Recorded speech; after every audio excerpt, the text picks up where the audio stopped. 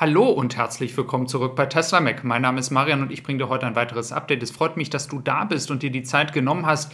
Ich habe wieder einige interessante Neuigkeiten für dich und da wird es heute auch mal wieder über die äh, Fabrik hier in Grünheide gehen. Auch danke an Tobias Lind für das heutige Update. Ihr seht dort im Hintergrund einige Model Y Performance, aber damit starten wir auch gleich rein, denn Real Rusty hat uns hier ein Update gegeben, ähm, hat nochmal Kontakt aufgenommen mit dem Sales Manager und hier ist ganz wichtig, Vergesst bitte nicht, dass es ähm, bei den Salesmenschen leider immer verschiedene Aussagen gibt. Wir können hier nur so den Mittelweg finden, um zu erahnen, was dann tatsächlich passiert. Und zwar geht es hier als allererstes um die Farben, denn die Farben äh, spielen eine Rolle bei der Auslieferungszeit und es äh, deutet sich auch im Tesla Freunde Forum heute, habe ich nochmal nachgeschaut, an, dass die schwarze Farbe als allererstes kommt, danach die weiße Farbe und dass es dann erst Richtung zweites Quartal, Richtung Ende zweiten Quartals in die anderen Farben hineingeht. Das heißt, wenn du jetzt zum Beispiel blau bestellt hast, kann es sein, dass du noch keine weiteren Lieferupdates hast bei der Performance-Variante, weil diese Farbe nicht am Anfang ähm, kommen wird. Dass all diejenigen, die eben halt äh, schwarz haben und weiß haben, werden ähm, bevorzugt am Anfang und das ist so das, was wir jetzt hier, was sich hier so rauskristallisiert. Ähm, das nochmal als Information. Des Weiteren haben wir auch noch ein Update zum Model Y Long Range. Das ist das erste Update, was ich soweit gehört habe. Hier hat der Sales Manager zumindest hier zum Real Rusty entsprechend mitgeteilt, dass es zum dritten Quartal kommt. Ähm, das ist, glaube ich, eher eine ich würde sagen, eine vorsichtige Aussage. Wenn jetzt die Genehmigung wirklich zeitnah kommt, kann ich mir gut vorstellen, dass dieser Zeitplan auch noch früher eingehalten wird oder früher kommt. Aber erstmal grundsätzlich, wenn du jetzt ein Model Y Long Range bestellst, musst du davon ausgehen, äh, dass dieses Auto bis zum dritten Quartal dann ganz normal aus China kommt, so wie es ja weiterhin der Fall ist, auch in diesem Moment. Wenn du dieses Auto aber ähm, explizit entsprechend aus Grünheide haben möchtest, solltest du dich da aber nochmal mit deinem Sales Advisor ähm, zu, in Kontakt setzen, um hier entsprechend nochmal ähm, ja, das explizit zu vermerken, sodass äh, die von Tesla-Seite Bescheid wissen. Es gibt ja auch inzwischen sehr viele Spekulationen, dass die Anzahl der Verkäufe hier in Deutschland fürs Model Y etwas niedriger ausfallen wird, weil viele auf die Autos hier aus Grünheide warten. Ein weiteres Update, was ich ja auch schon mal genannt hatte in Bezug auf den Cybertruck, da deutet sich tatsächlich an, da hatte auch der Real Rusty nochmal mit dieser eine Nachfrage zu gehabt. Ähm, da soll es tatsächlich für die europäische Variante ein Update im ersten Quartal geben.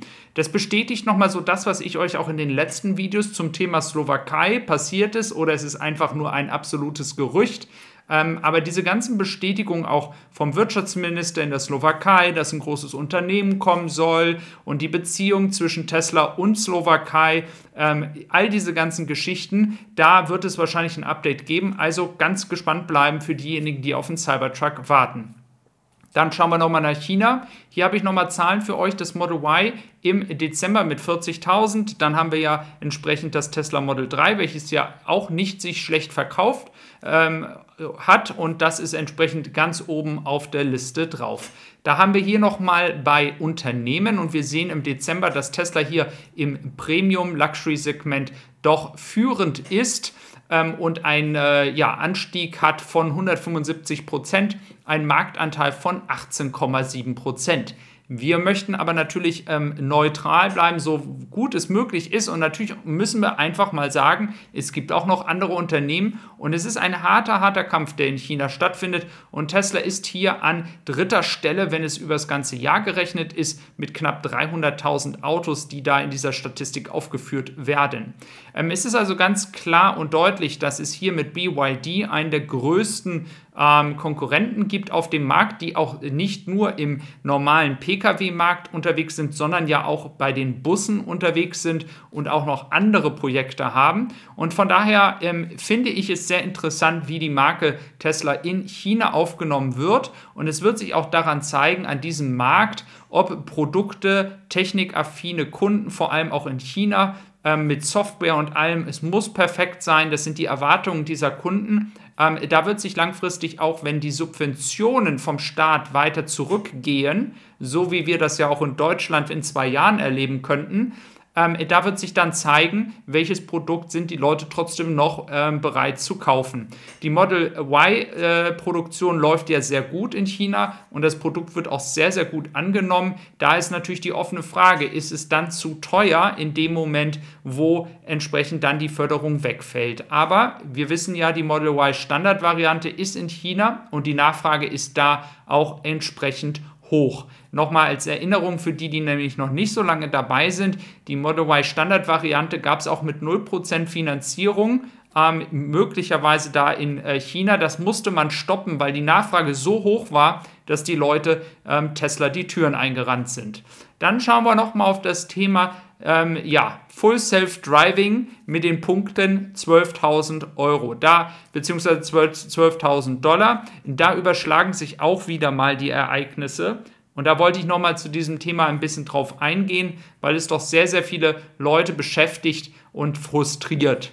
Als allererstes versuche ich immer die Kontakte so aufzubauen international, dass ich auch Material habe, welches ich euch hier teilen kann. Dieses hier stammt von dem YouTube-Kanal AI Driver. Ähm, also gern auch mal da vorbeischauen. Hier habt ihr die, immer den aktuellsten Stand der Beta-Software. Betonterweise, es ist eine Beta-Software und das ist der letzte Stand, den wir haben. Jetzt sind wir hier nicht auf einer deutschen Autobahn, wir sind in einem Wohngebiet. Ähm, wir haben vielleicht nicht so viele Schilderkennungssituationen wie in Deutschland das äh, sein mag, aber ihr könnt hier sehr deutlich sehen, was der letzte Stand ist wie reagiert das Auto, wie viele Fehler macht das Auto und es ist eben halt sehr interessant, hier den Fortschritt, zu beobachten. Ich persönlich bleibe dabei, dass ich einen Preis von 12.000 Dollar für einen deutschen oder europäischen Kunden bei weitem zu teuer finde. Ich bin der Meinung, dass Tesla hier nicht genug bietet, um diese 12.000 Dollar zu rechtfertigen.